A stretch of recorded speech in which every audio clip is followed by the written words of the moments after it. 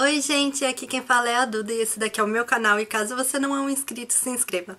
Bom gente, no vídeo de hoje, hoje oficialmente está começando um quadro novo aqui no canal que chama TBTube.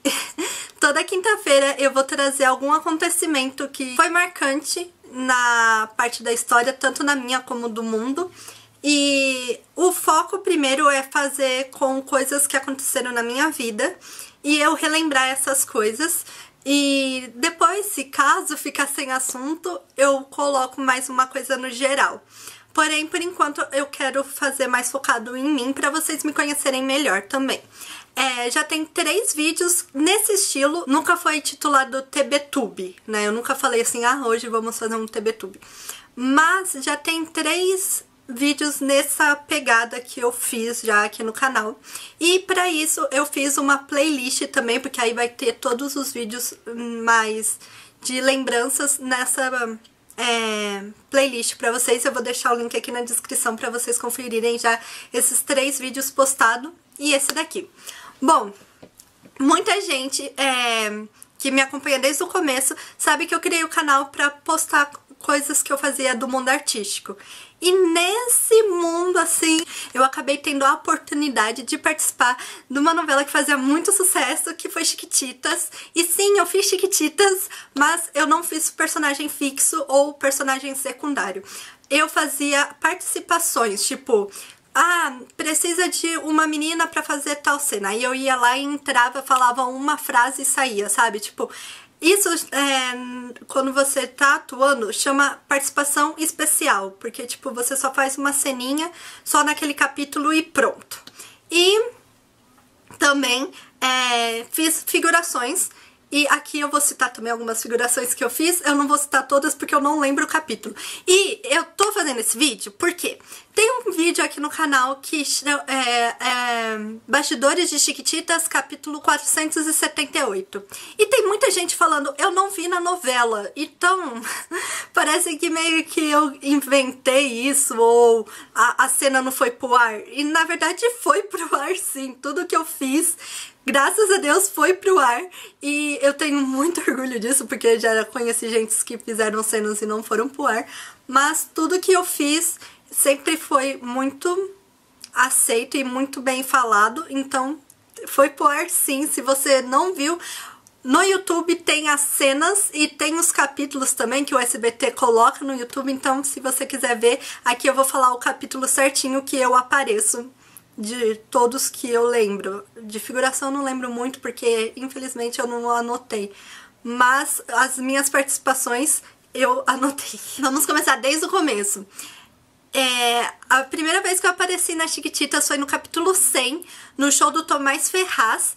E foi a primeira vez que eu gravei, a primeira vez que eu fui pro SBT, e a primeira vez que eu tive essa oportunidade de fazer uma coisa, tipo, tão grande e eu não tava acreditando. Quem me acompanha desde 2013, 2014 sabe o quanto eu fiquei muito feliz de ter aparecido. E, tipo, só eu sei que eu apareci, porque foi uma figuração. É, era o show do Tomás Serraz, eu estava na plateia, ah, tinha a plateia lá, as Chiquititas estavam na plateia, e eu apareço do lado da Millie.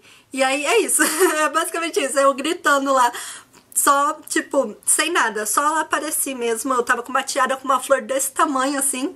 E eu vou pôr agora a cena pra você, se eu achar, mas provavelmente eu vou achar. Eu vou pôr a cena. Ele disse, vou dançar a noite inteira. Roda, roda, vira, olhasse, roda bem, mas que rei da festa não encontrou ninguém. Sobre essa gravação, foi super tranquila, eu tava muito nervosa, mas foi super tranquila. Eu não tive que trocar minha roupa. Quando você vai gravar, as pessoas reparam, né, as pessoas da produção, se você tem alguma roupa mostrando a marca. Se você tem roupa mostrando marca, eles normalmente pedem pra você trocar. Mas eu estava com uma roupa super tranquila, assim, sem marca nenhuma. Era uma menininha que tava na, na minha blusa e eu tava de sainha. E foi isso. Eu gravei, eu tava muito feliz. Eu conheço a Raíssa Haddad, que fez a Bia.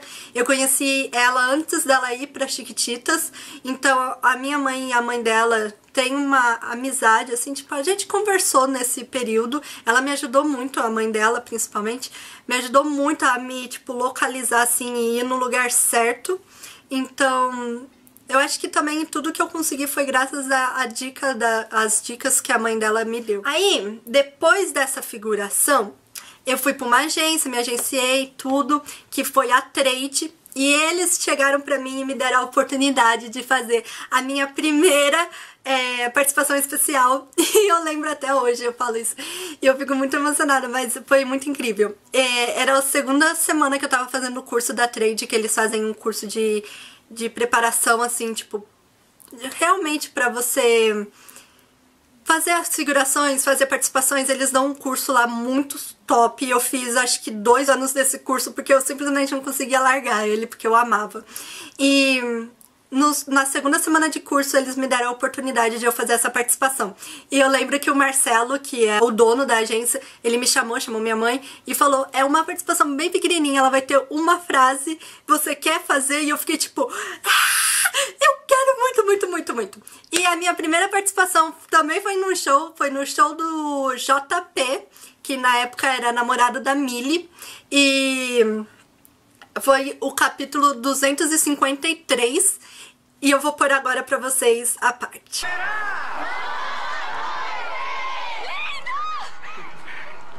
Quem disse isso? Você tá maluca, menina? Ele já tem dona, tá? Bom, nós somos a banda JP10 eu espero que vocês curtam o show! Milly, o show vai começar, você não tá empolgada, não? Fica comigo! Quem fica comigo o quê, menina? Você não tá vendo a namorada do vocalista aqui? Dá meia volta e vai embora. Lá pro fundo, tá? Vem mim. Tá louco?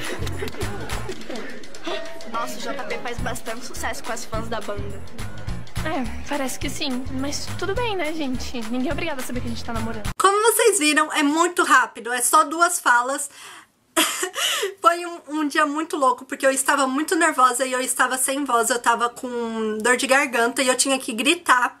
E a gente gravou seis vezes essa cena. A gente gravou três de frente e três de costa com as câmeras, né? Tipo, a câmera na sua frente e a câmera na, nas minhas costas. A gente gravou seis vezes e as seis vezes eu só recebi elogio do diretor e eu fiquei muito feliz. Eu estava um pouco nervosa, mas eu fiquei muito feliz. Eu gravei super de boa. A Issa tava no, nessa gravação, então a gente conversou também. É, a Mili, né, a Giovanna Grigio, também foi super legal comigo todas as meninas su super legais, eu adorei tudo. A Cris, né, que é a Cintia Cruz, também foi muito fofa, que eu meio que contracenei com ela nessa cena, né? Então foi muito fofa. E a roupa que eu uso nessa hum, gravação é minha, eu tenho então a roupa até hoje, então tipo foi...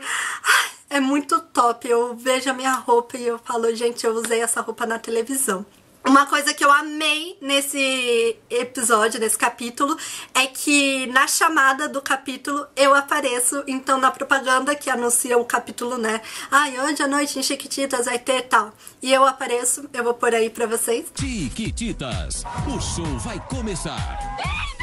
Você tá maluca, menina? Ele já tem dona, tá? E o vocalista não faz carreira solo. Pessoal, essa aqui é a minha namorada, Millie. Olha, João, melhor eu ir, tá? Mas acaba desafinando. Ai, caramba.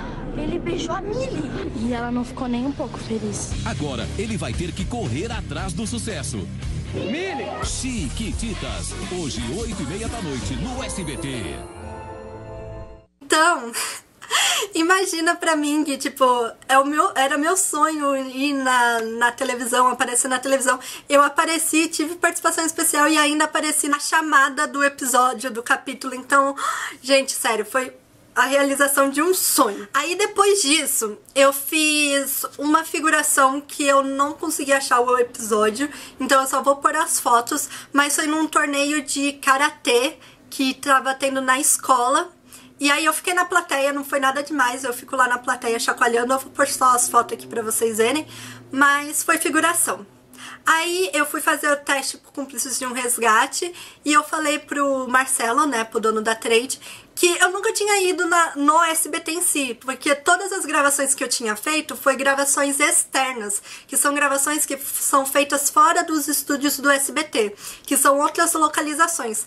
E aí ele chegou pra mim e falou: "Bom, eu vou te encaixar em uma figuração mesmo dentro do SBT só pra você ir conhecer os estúdios de Chiquititas e tudo mais.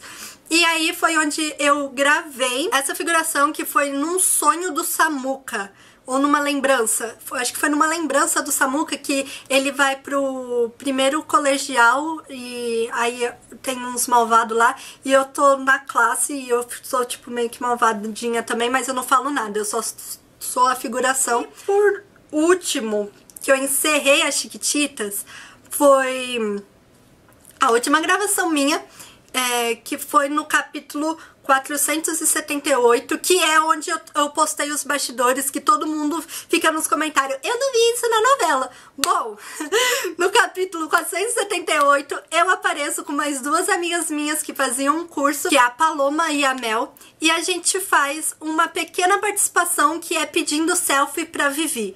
A Vivi, ela volta, ela faz um comercial com o pai dela, se eu não me engano, e ela volta pro mundo artístico e aí a gente tá na escola, somos alunas da escola que chegamos para Vivi e fazemos algumas perguntas para ela, tipo, ai, você vai continuar nesse, nessa vida? Você vai pra, voltar pra passarela, que não sei o que? E a gente pode tirar uma selfie com você? Enfim, aí a gente vai e tira uma selfie. Eu tenho essa selfie, tem muita gente falando que a gente não tirou a selfie, que o celular tava bloqueado, que a gente só fingiu, que não sei o que. Bom, a gente tirou a selfie, eu tenho a selfie, a gente gravou e isso foi pro ar, tá bom? E é no capítulo 478 das Chiquititas.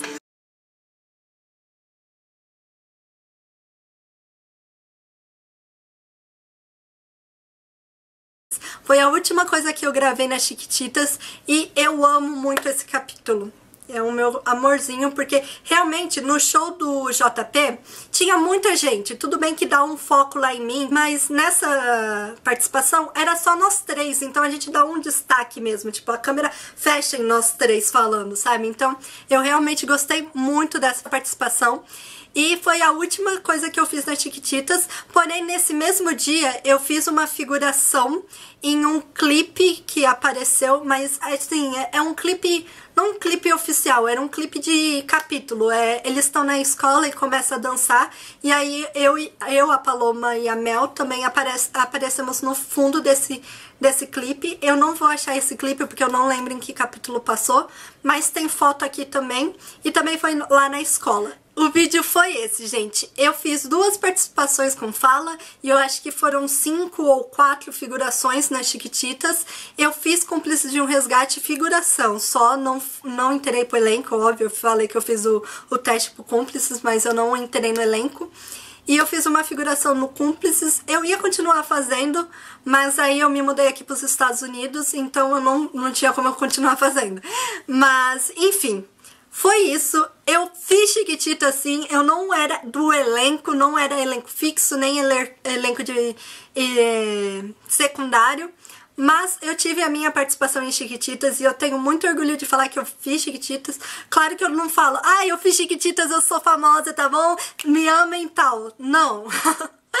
eu sei o meu lugar e eu realmente dou muito valor para isso. Eu tive a oportunidade de fazer participações especiais e figurações e eu não fui nunca mais do que isso. Eu tive pessoas sempre do meu lado, tanto Marcelo, tanto o elenco da Trade, assim, tipo, o, a produção da Trade, o povo que trabalhava na agência, tanto eles, o carinho que eles tiveram comigo, eles reconheciam o meu esforço, tudo, a oportunidade que eles me, me deram, tanto quanto as pessoas próprias do SBT. Eu tive contato com várias pessoas do SBT, preparadora de elenco, diretor do SBT, é, preparador de elenco do SBT, então, e mais as mães, as, a, os atores mesmo, eu tive contato com todos eles e eu sou muito grata com todas as dicas que me deram, com todos os conselhos, com todas as oportunidades que me deram. E é isso, gente. Eu sou muito grata por essa parte que eu vivi. Eu fiquei no SBT de 2000 2014 a 2015, eu acho. Foi uma coisa assim, foi esse período de um ano, um ano e meio que eu fiquei no SBT, trabalhando tanto em figuração quanto participação especial. Então eu tive muita sorte e a oportunidade de ter vivido isso e eu não troco por nada a emoção que eu senti quando eu entrei no SBT, quando eu vi o cenário de Chiquititas, eu andei pelo orfanato das Chiquititas, a, a sala do orfanato, eu vi o quarto das meninas, a, a sala de aula que elas gravavam, eu gravei também. Então, tudo que eu vivi com as Chiquititas foi um sonho muito, muito realizado e eu sou muito grata muito grata mesmo. E é isso, gente. O TBTube de hoje fica por aqui. Eu espero muito que vocês tenham gostado dessa ideia que eu tô trazendo aqui pro canal. E é isso. Relembrar é viver, então... Ai, eu amo muito eh, ter recordado e ter vivido de novo essa essas emoções que eu vivi na, nesses anos. E é isso, gente. Não esqueçam de deixar o like. Se é novo, se inscreva aqui no canal. E é isso. Eu espero muito que vocês tenham gostado. Beijinhos e até o próximo vídeo.